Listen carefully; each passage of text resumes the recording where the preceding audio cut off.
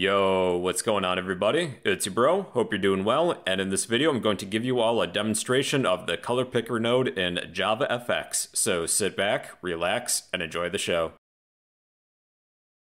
Alright, welcome back people. We're going to be using the color picker node to change the background color of our pane.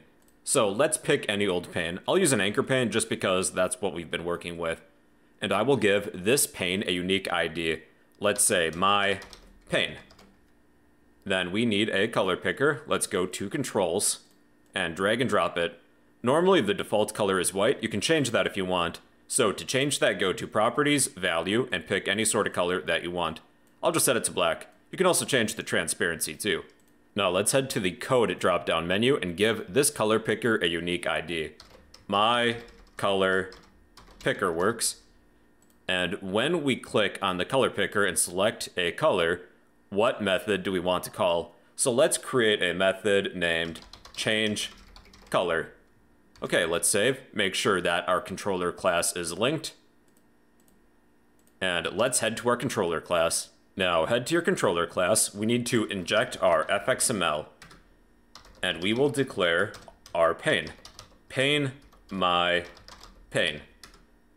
As well as our color picker at fxml private color picker my color picker. And we need to declare that method of change color. Public void change color. There is one parameter, action, event, event. Now, when we select a color, we need to get that color. Color my color equals my color picker dot get value. This will return a color object, so we will store that within color my color. And to change the background color of a node or pane, type the name of that pane or node dot set background, and we will pass in a new background, and then pass in a new background fill there's kind of layers to this, and then pass in my color. There's three arguments here. My color, then corner radii dot empty insets dot empty.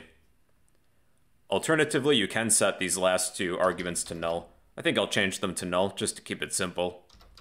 Okay, and we should be good. So here's our fancy color picker and we can change the background color of our pane. Well everybody, so that is the simple color picker in JavaFX. I will post this code to the comments section down below. But yeah, that is the color picker node in JavaFX.